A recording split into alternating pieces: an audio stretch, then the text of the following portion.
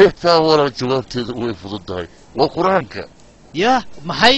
War waxaas waa sheekooyin hore. War waxaasi waa sheekooyin hore oo aan waxba ka jirin.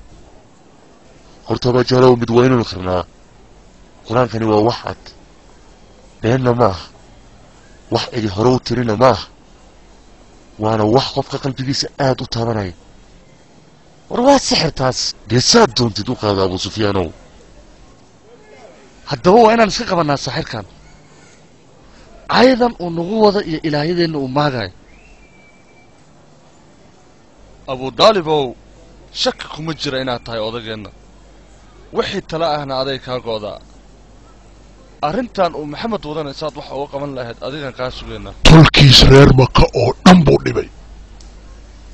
Sannada ka hor waxaas ahaay ninkii kala badbaadiyey dhiigga quraysh oo daadan lahaa adigana waa ammaantay abaajahal ase ma aheenoo ninkii dhahay markii kacbada la dhisaayey dhagaxa madow cid kasto geesa ka soo qabato. Ha ilaabin wanaaggaas noo galay. Arrintaa waxba igama gelin. Abaajaal naga celi haddaadan naga celin gacanteenaan isaga celinaynaa boorya ma maantana waxaad keentay inaad quraysh dhibaataiyo dagaal dhex dhigto? Yaa abudaaliba waad u jeedaa xaaladda maanta meeshay marayso inay saan ka sii dari doontona lama oga بل وكبريا يا الله هذا الويل كذلك أطاه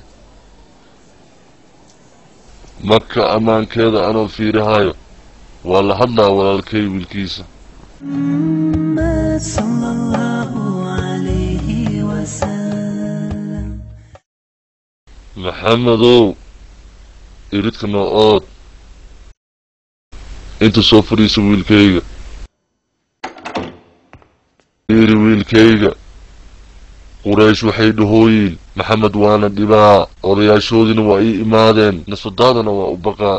Ani waa duqoowe maxamedow. Tabartaydana waa